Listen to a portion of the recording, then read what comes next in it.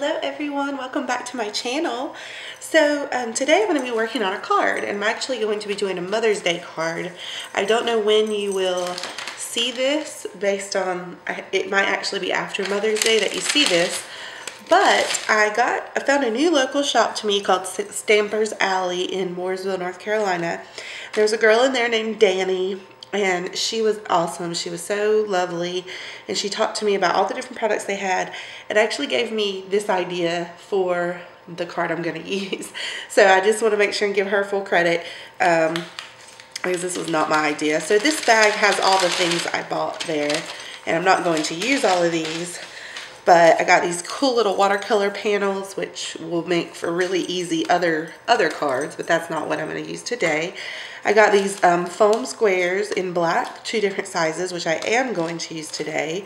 I picked up this Cuttlebug, um, the cutting board from my Cuttlebug, because I, I inherited from a friend, gave me a Cuttlebug, this little green thing here. And um, I wanted to do some die cutting on it, but you have to have this other plate to do it. So I'm excited to have found that. And then this is actually what I'm going to be using for my Mother's Day card. So I hope you guys can see these beautiful stamps. I'm really just going to be using this as a card. And But what I'm going to do is I'm going to use two and I'm going to cut out some of these flowers and make them as like a three-dimensional element on top of this sticker. So I'm actually going to be using two of them to make one card. That's why I bought two packs. Um, and these are Stickeroos um, brand. So, or Penny, this is Penny Black down here, but Stickeroos. So, I'm excited to give this a try. I'm not going to talk through this whole thing um, because I just can't concentrate when I do that and I need to focus on what I'm doing. Um, so I'll probably either set it to music but come back and do a bit of a voiceover to kind of explain some of the bits and pieces that I'm doing.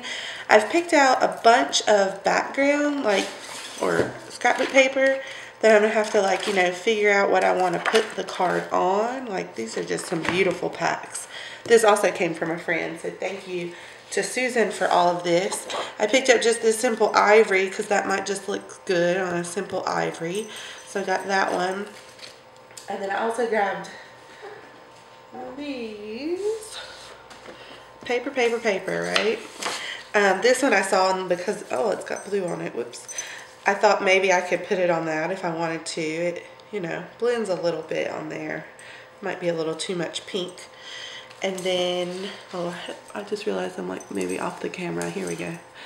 Um, it might be a little too much pink. And I hope I've got my settings a little bit different to try to make it brighter. And I, I'm afraid sometimes it gets a little too bright, so it gets washed out. These two packs of paper I just, I grabbed them. Oh, I forgot I have that one. I don't think that's going to give me the look I'm going for. No, I don't think we'll be using that one. I just grabbed these because they have a couple of sheets in them that are sort of plain or a simple, you know, background. Um, but I'm going to have to figure out what I want to use here. The blue is kind of cool. And the ombre effect is kind of cool. So yeah, um, anyway, so I'm going to let you guys watch. and I might speed up some of this, but that's what we're doing today. And then I'll come back and show you the finished product at the end.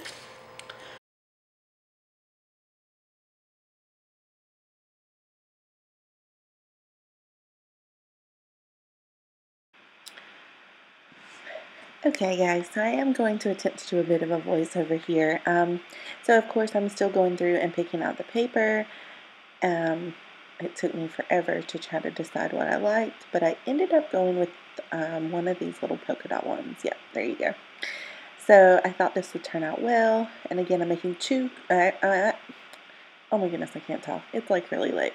I'm actually making two cards, um, so you'll see the first one and then the second one.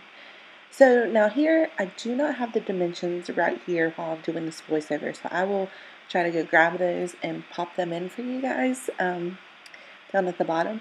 But I really just eyeballed it. I had these little envelopes. They're just like invitation, colorful invitation envelopes.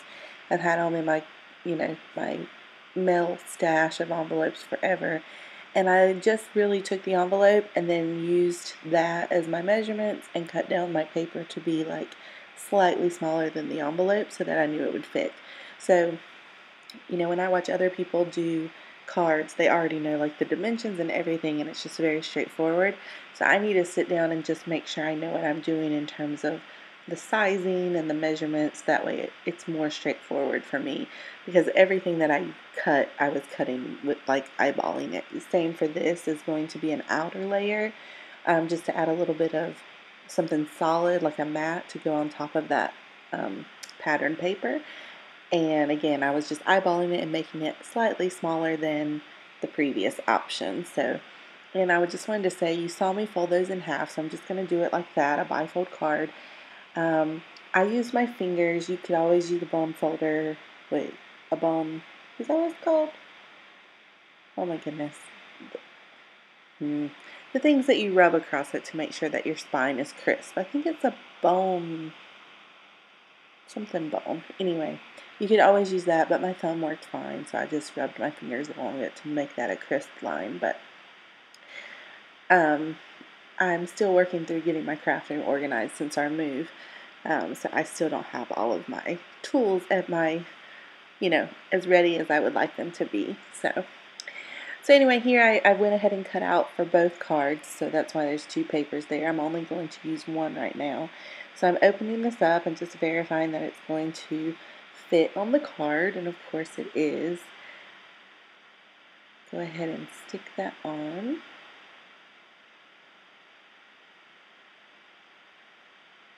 And I need to double check the brand behind these stickers because they are just gorgeous and they're it's hard for me to describe the material, but they're just a really nice feeling sticker, kind of like a vinyl maybe. Um, but yeah, I need to look into that brand of stickers some more because I had never heard of it before. And here I'm just double checking what my second card is going to be because for a moment I forgot that I was going to be using two stickers to make one card and so all along, I was expecting to make two cards that looked exactly the same. And it dawned on me here that I was like, wait a minute, I can't do that. I'm actually going to have to do two different looking cards. so, anyway. So, here we're going to take the same picture from what we just stuck down. And I just wanted to, to cut out the petals. Um, or that, yeah, the, the petals of the flowers. And I'm going to make those my um, three-dimensional effect.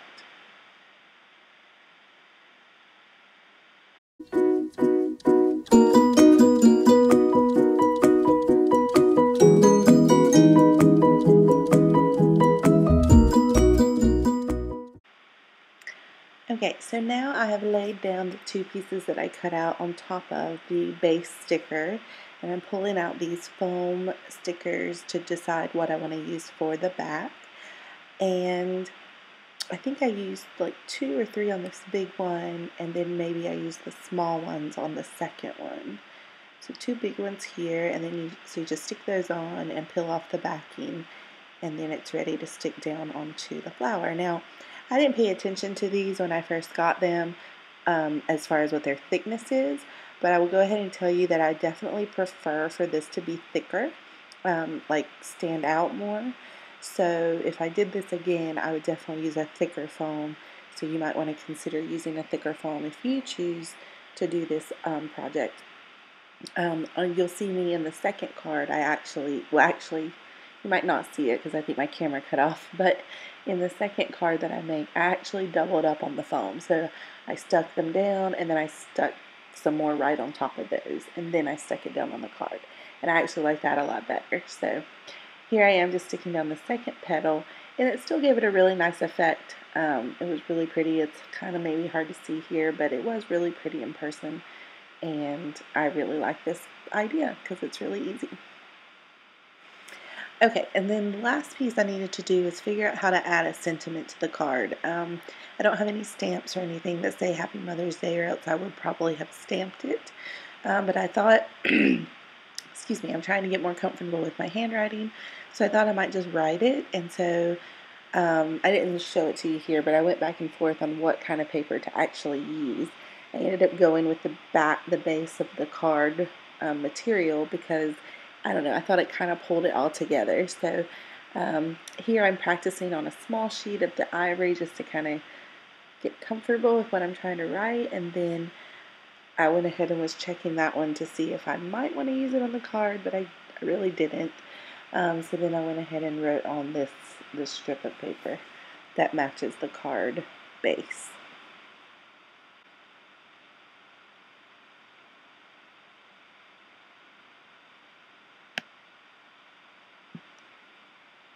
And my trick for kind of helping to make handwriting stand out or look a little more fancy is just to go back through it and emphasize all of the downstrokes. And so that's what I'm doing here.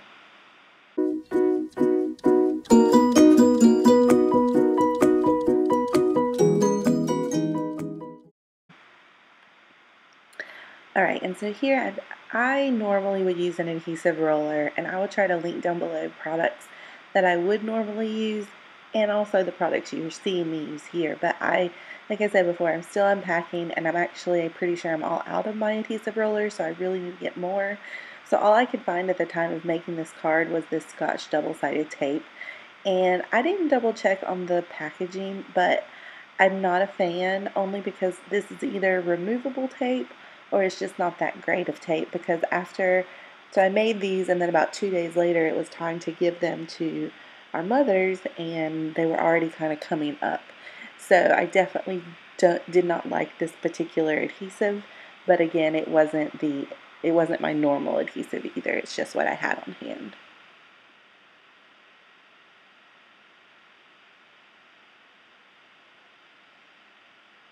And then for this one, I grabbed just a craft, um, like a craft stick of glue and and it worked out fine. The, the glue works out fine, but I do prefer an adhesive roller.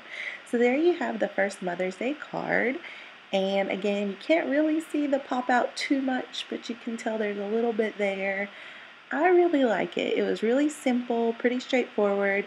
I just need to figure out my measurements more exact, and that will make that part go a lot faster next time.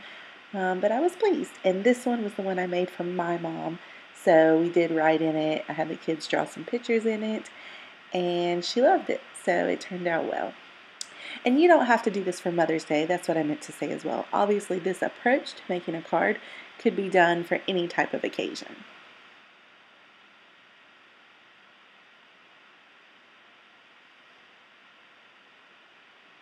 Alright, so now we're going to go on to the second card. And so this one I was going to have to do in more of a landscape horizontal layout um, because of the types of stickers that I planned on using and the fact that I had already cut my cards. Um, and so I knew that I was going to put the image on the left side and so I wanted to write Happy Mother's Day on the right side. And so I laid out these um, washi tape on my mat to help me kind of line up and try to keep my writing off to the right hand side. Um, it worked well, but you will see here in a little bit, I kind of made a little boo-boo and ended up at the very end kind of undoing all of this and doing it a different way. But I still wanted to show this to you because this is just my process. So you'll see I pulled out my Jane Davenport Jane Davenport mermaid markers and that's what I wanted to try to write with. And I always kind of practice on a different piece of paper before I do it on my actual card if possible. So that's what you saw me doing there. And here I am just writing Happy Mother's Day, making sure it's all lined up.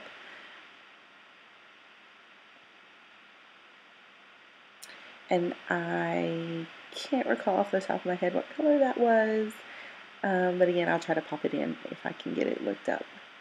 So this one, I was wanting to add a little extra something to it, but I, I did it on the scrap paper and it didn't really do what I was hoping it would do, so I ended up not using that.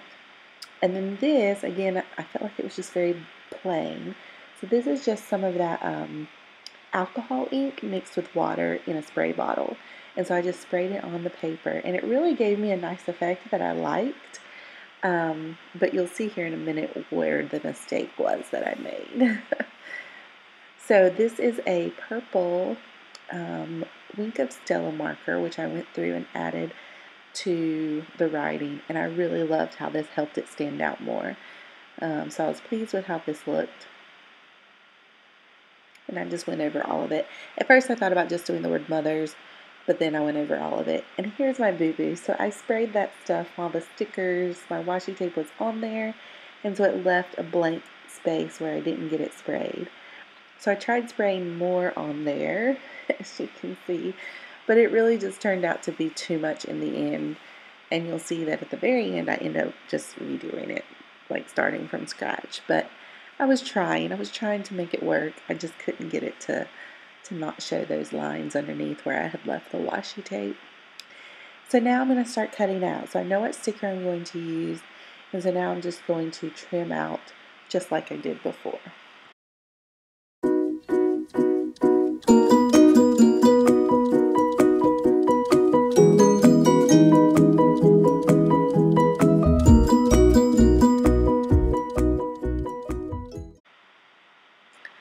Okay, so here's when I went to put on the foam, but I'm afraid the camera cut out and so you don't really get to see me do it.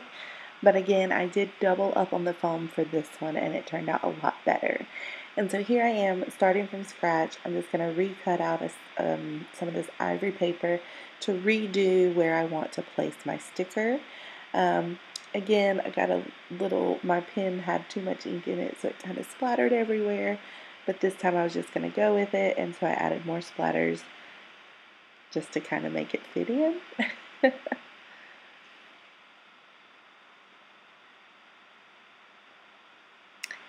And I still like the way the, the spritzer looked, so I went ahead and did just a few light sprays on that so I didn't completely soak my paper.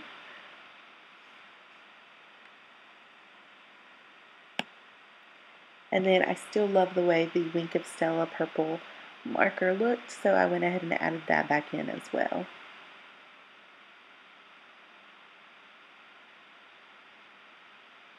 And now it's time for the fun part, putting on the stickers. so this one I had already put the foam, um, the layer on top of it for the 3D effect, so that was already there. And then again, I'm using my scotch tape to actually adhere this panel to the card base.